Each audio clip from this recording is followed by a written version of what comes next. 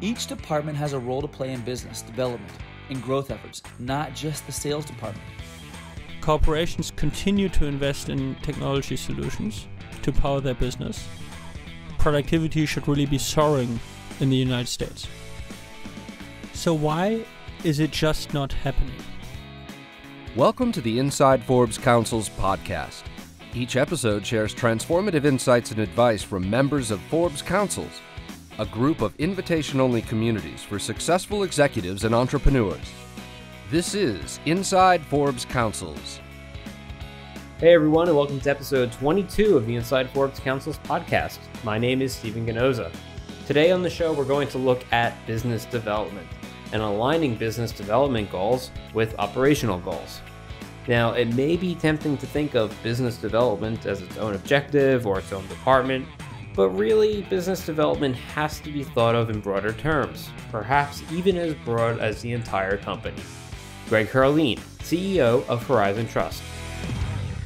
The process of aligning company goals along with the business development efforts starts with the culture of the organization, starting with the mindset of all employees, from the top down to the bottom, making sure everyone understands the mission and its objectives, which the organization wishes to achieve.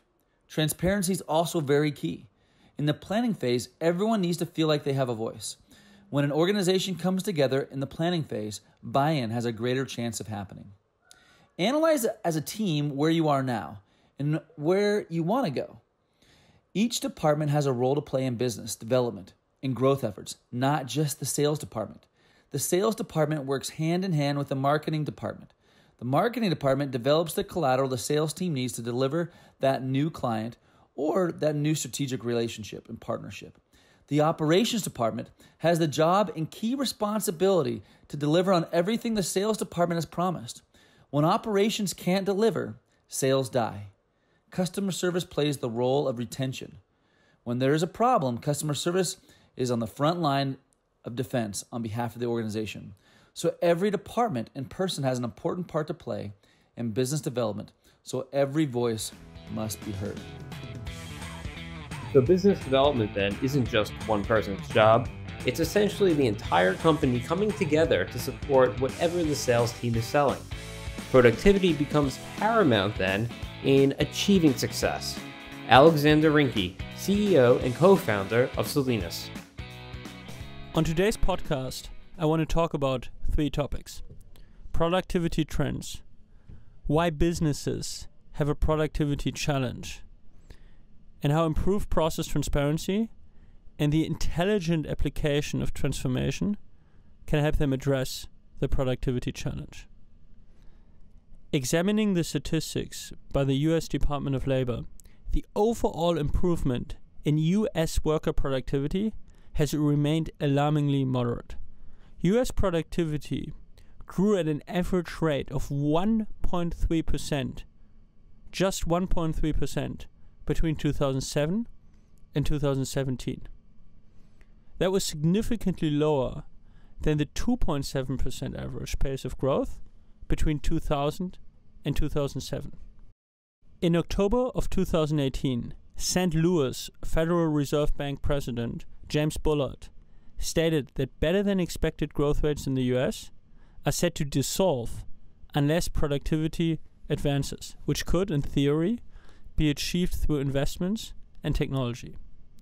So, why haven't the technological advancements we have seen in the last decade already produced much more dramatic productivity gains? Corporations continue to invest in technology solutions to power their business. Productivity should really be soaring in the United States. So, why is it just not happening? First of all, for a long time, we were able to achieve productivity growth without actually getting better.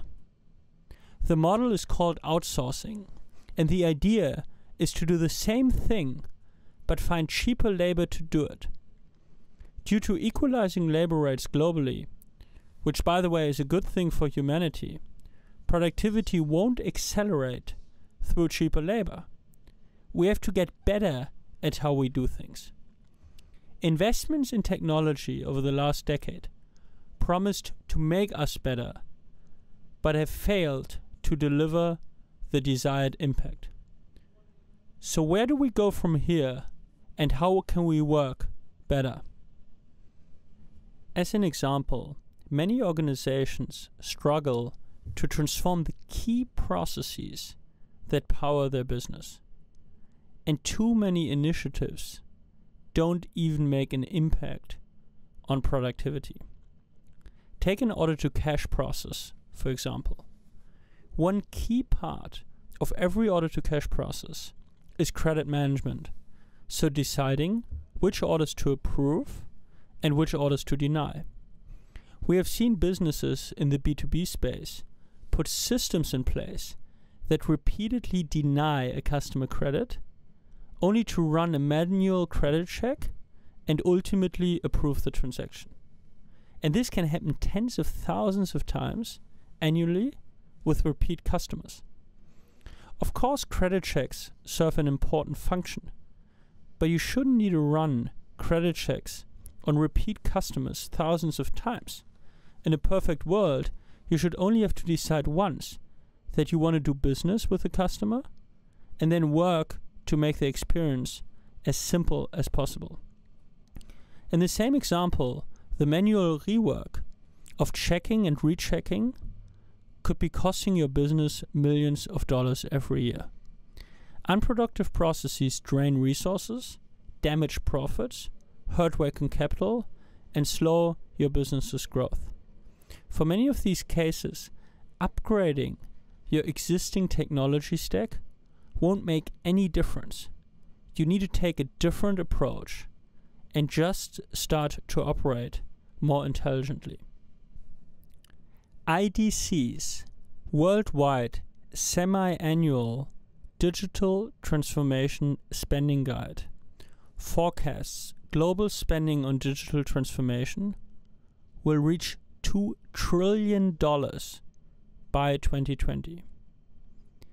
But how do we make sure we don't repeat the mistakes from last decade and end up spending this money only to achieve marginal productivity gains?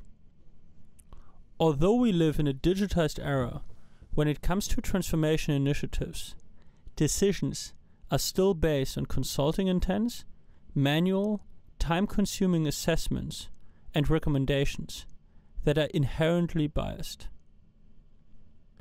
How do you want to truly change your company if you don't even understand what's going on? Process discovery, process analytics, and technology that recommends intelligent actions disrupt the transformation playbook and provide you with a factual and objective methodology to drive change that sticks. So if your sales team is acting without the support of a streamlined and productive operations team, then any business development efforts may not succeed. Your sales team may be great, but the whole company needs to be aligned in order to deliver on what's being sold. I'd like to thank Greg Herlean and Alexander Rinke for sharing their thoughts today. We'll see you on the next episode. This has been Inside Forbes Councils. Please be sure to subscribe to us on iTunes, Spotify, or wherever you get your podcasts. If you're a member of the Forbes Councils and would like to participate in our podcast series, please email your member concierge. If you're interested in joining a Forbes Council, learn more at ForbesCouncils.com.